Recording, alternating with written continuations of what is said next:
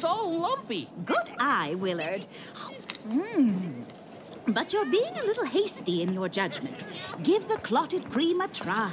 It's delicious. I think I'll stick with my tea. Oh, Willard, you judge things much too quickly. Be a little adventurous. It won't kill you. Ow! But this cup, May, it's cracked. I almost chipped my beak. Wonder what'll break next. Whoa! Excuse me, uh, can you tell us what's happening? Minor technical difficulties. We'll have to stop in the next town and do some repairs for the next 24 hours. Well, it's certainly no mystery why the train broke down. The train breaking down might not be a mystery, Willard, but where we are is.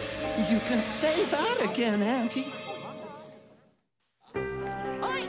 Shouldn't have taken this old train back from our last mystery at the charity ball in Bavaria. That was tough work, and I could sure use a vacation. Well, this could be a wonderful place for a vacation, Willard. It looks very quiet. Very creepy is more like it. Now, Willard, don't go judging a book by its cover. It says right here in my trusty guidebook that we're in Xanaville, a lively little tourist town. Lively? Are you sure you're on the right page, Auntie? Yes, and this book is brand new. It was published six months ago. You do have a point about it not being very lively, but like I said... I know you can't judge a book by its cover. Welcome to Zanaville. I am the mayor of this fine town, and it is my pleasure to welcome you to this beautiful place that we call home. I'm Willard Widgeon of the Swiss police, and this is my aunt, Miss Mallard, the world-famous detective. Police? Detective? Oh, are you here on business? No. The conductor told us that the train will be repaired overnight. So we're tourists. Marvelous! That bus will take you to our town's finest hotel. Let's go and talk to the flower vendor. I'm sure she could tell us about some of the sites that we could visit. But, Auntie, we don't want to miss that. No, never mind. Hello! Oh! Oh, dear, I'm terribly sorry. we didn't mean to startle you. My name is Miss Mallard, and this is my nephew, Willard Widgeon. I am Halle Dabler, and this was very clumsy of me. Oh, I must be out of practice. For the last month, we haven't had many tourists. Who appreciate beautiful flowers. My sincere apologies, Mr. Widgeon. Halle is... Um, distracted, yes? Good, then we're all clear. I mean, we're all set. and now, you wouldn't want to miss your ride. The driver will be stopping at some of our beautiful landmarks along the way. Ta-ta for now! To Halle with love. Here, I believe you dropped this. Auntie, we just missed our ride to the hotel. I'll gladly give you a lift. I was heading to the hotel to warn Papa of his arriving guests. My friend Vidor is picking me up. I'm sure he won't mind. Your father works at the finest hotel in Xanaville? Oh, what a happy coincidence. Well, not really. He manages it, and it's the only hotel in Xanaville. Papa would be thrilled to have so many guests. How long has your father managed the hotel? For about six months. Ever since the previous owner mysteriously left town and abandoned the castle. Mysteriously just happens to be one of my auntie's favorite words. The previous owner was run out of town. He went to Scotland. Shh! How interesting. Weren't we in Scotland about six months ago, Willard? Yes, uh, for the reading of Great Aunt Abby's will at Duckenbill Castle. Now I remember. Someone was impersonating a kispire who seeks victims to kiss when the moon is full. What was his name again, Willard? Kiskula. Vidor, look out! Oh, dear. I'm terribly sorry. Vidor, what's gotten into you? A little distracted, perhaps? Vidor will have your clothes cleaned. Won't you, Vidor? Yes, of course. I work at the dry cleaners in town. Good thing we didn't take the bus, Auntie. Willard, have you noticed there are statues missing in this town? I have a feeling that we may have stumbled upon an intriguing mystery. Halle, this came for you. Thank you, Tanya. This is Miss Mallard and Inspector Widgeon. They'll be staying with us until their train is repaired. Tourist. Hmm. Oh, look, Vidor. He sent me another letter. Love is an ocean you must not fear. Even if it separates us, I am always near. Oh, isn't he positively romantic? Well, I must be off. I will bring your clothes back shortly, Willard. Thank you, Vidor. Anything for you, Halle. He appears to be sweet on you. Vidor? No, we've been friends forever. He's like a brother to me. Besides, he's happy that I'm in love. So, you know who your secret admirer is? Yes, he's left me many clues. I've been receiving these letters for a month. Halle, my daughter, how wonderful! You've brought guests! Ah, and what a lovely guest you are! Madam, welcome to my hotel. I am Igor. Papa, there are more guests coming. A whole train full. We're back in business. Fabulous! Go and tell Vanya. Have her prepare a feast for our guests. Welcome, one and all, to the finest hotel in Zanaville. Please make yourselves at home. Igor will take very good care of you. Right, Igor? Isn't this the only hotel in town? Well, yes, but it doesn't take away from the fact that it's Zanaville's finest. Igor, why don't you give our guests your best room? Separate rooms, yes? Uh, which floor would you like? How about the third floor? The view must be spectacular. No, no, that won't do at all. Uh, the view is much nicer on the second floor, right, Igor? And besides, we wouldn't have anything less for a world famous detective and an inspector in the Swiss police. The third floor is occupied. A very private duck pays me for the entire floor. He arrived a month ago, and if it weren't for him, the hotel would have closed down. A month ago? Really? Yes, and he left strict orders not to be disturbed. I am the only one who deals with him. Someone was staring at me. He was right there. It was awful. He wore a black cape. And look! You've all been walking in the heat for so long. Perhaps it was your mind playing tricks on you. Sunstroke can do that, you know. Why don't you all get settled into your rooms and then we'll have some supper? I get the sneaking suspicion that sunstroke has nothing to do with any of this. Oh my! These are kiss prints.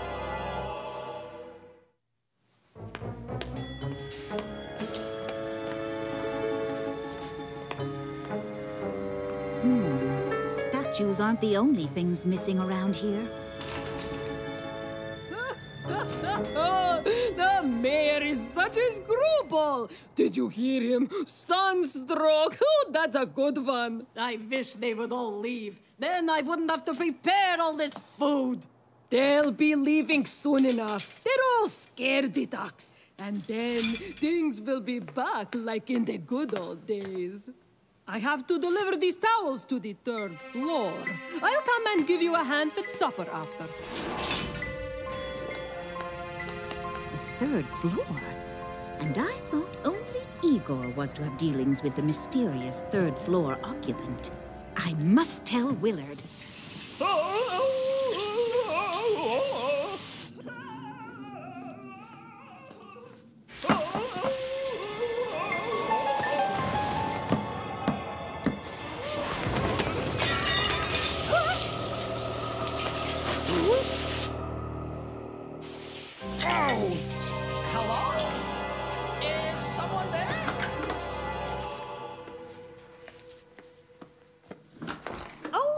Sorry. Were you in the shower?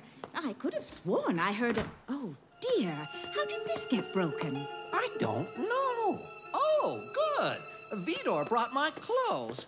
Tanya, the housekeeper, must have put them on the bed. But she certainly wouldn't have left this broken vase on the floor. You shouldn't leave your window wide open, Willard. You'll catch cold. I'll get dressed right away and we can go for dinner. Very interesting. Hungarian noodles. Eat. Come on, Willard. Give it a taste. Looks can be deceiving, you know. Or not. This looks positively unappetizing. Ah, I see that Vidor brought your clothes back. I hope you are enjoying Vanya's Hungarian cooking. Both she and Tanya have been here forever. They worked for the previous owner. Yes, they were very upset when he left town. But Papa insisted they stay on when he took over. Say, tell us who this secret admirer is. Uh, yes. I suspect it's the mysterious duck on the third floor. But you must promise not to tell Papa. He's very protective of him. I don't think he would approve. What wouldn't I approve of? Is my beautiful daughter pestering my fine guests? Of course not.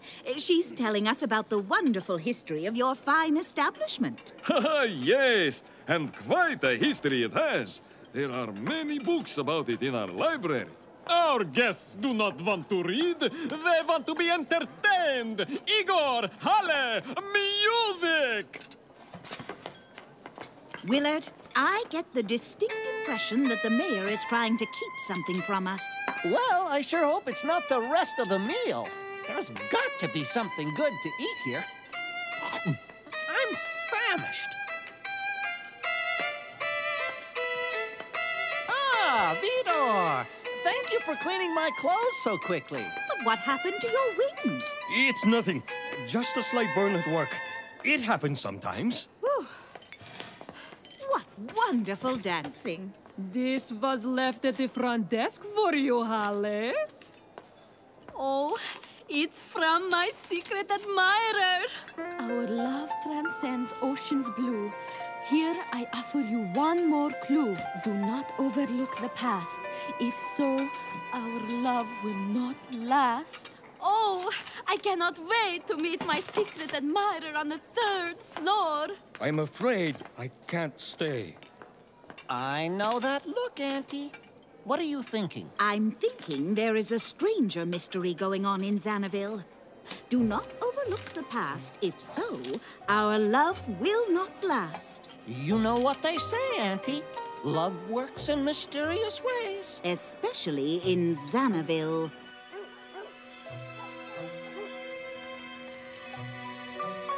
What exactly am I looking for, Auntie? The books that Igor mentioned on the town's history. Why? Zed? Xana?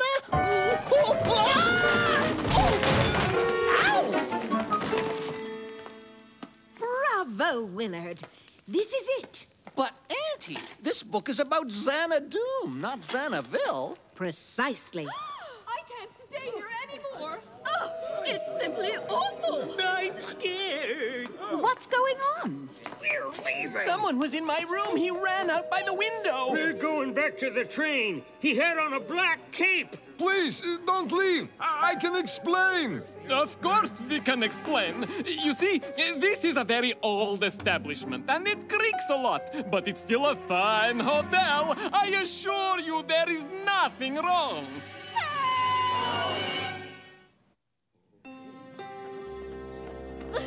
The pillow! I found kiss marks. My window was open. Someone came into my room and put them there. What do you make of that, Willard? It certainly looks like kiss marks impressed into the pillow, Auntie. I agree. I suspect we have a kispire in our midst. Kiss fire? Here? This is ridiculous.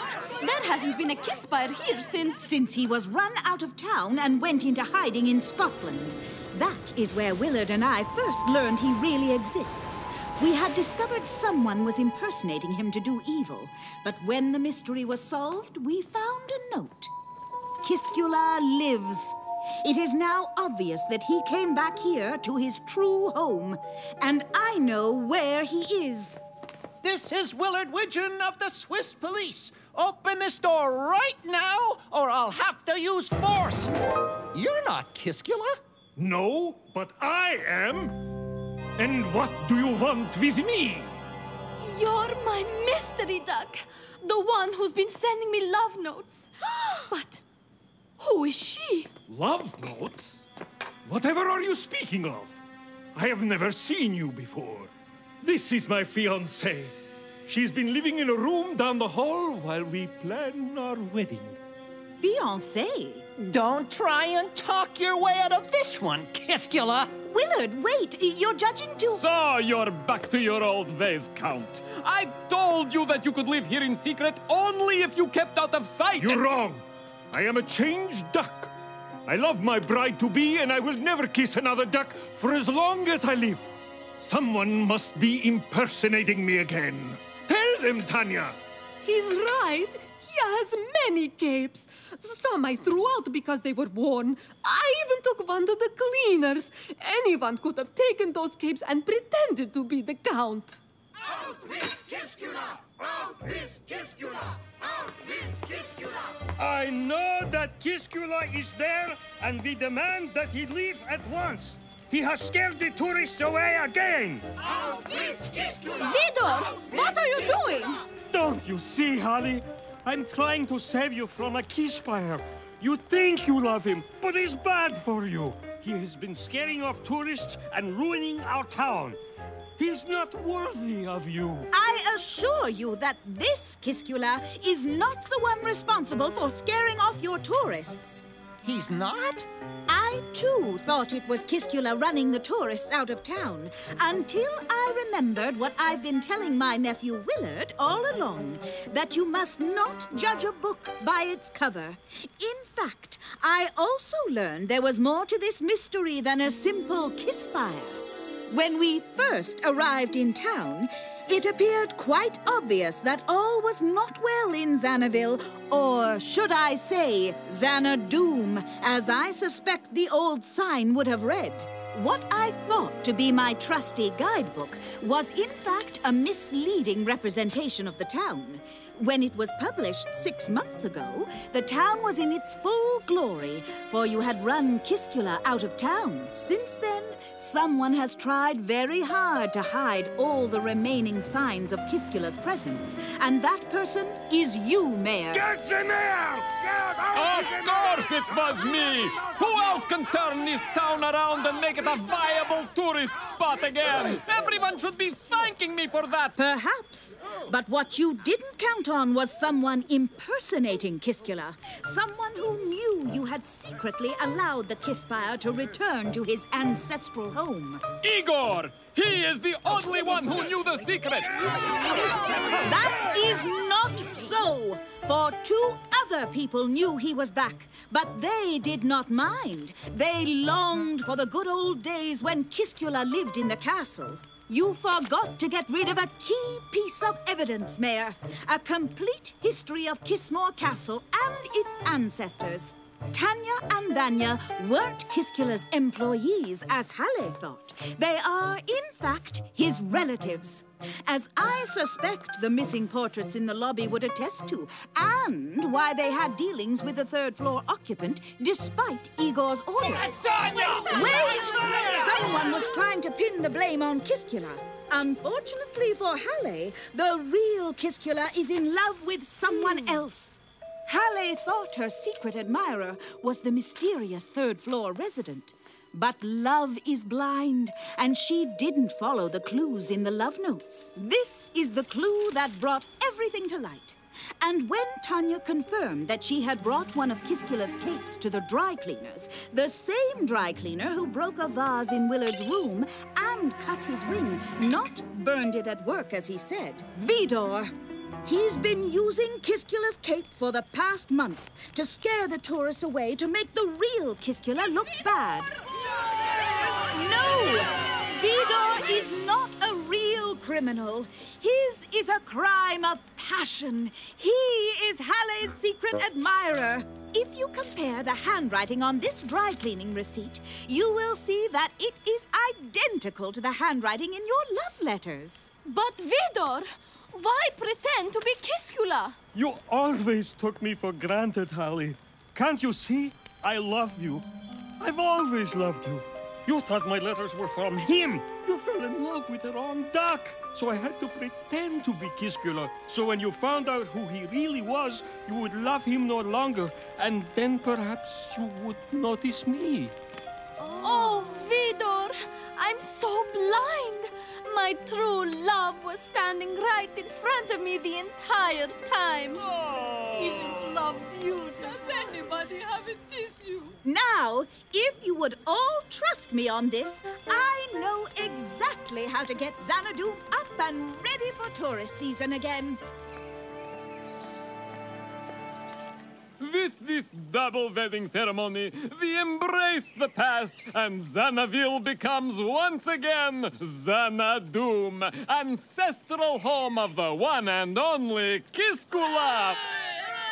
Miss Mallard, if you would do us the honors. I think these honors are yours.